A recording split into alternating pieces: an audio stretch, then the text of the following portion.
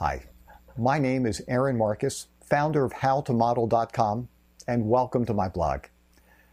On Tuesday, I had an incredible opportunity to work on a training film for the Defense Intelligence Agency. The DIA is based in Washington, D.C., but they operate around the world.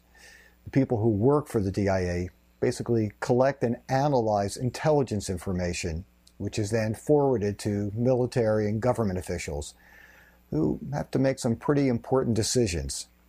Just getting to the set took almost 40 minutes.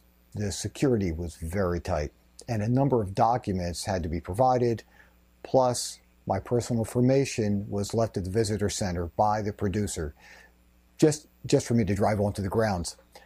As an actor and a commercial model, my projects vary greatly. I recently worked on the TV show 30 Rock and did an ad for the Wall Street Journal. So it's nice to get an opportunity to work on a project that you know will be so helpful to our country and helpful to many fellow citizens. If you have any questions at all, feel free to send them to me at Aaron, A A R O N, at howtomodel.com.